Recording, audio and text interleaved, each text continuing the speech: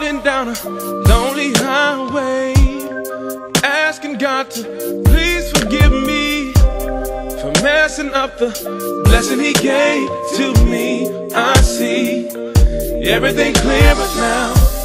The night is black as black as it's ever been. Without my girl, I'ma lose it.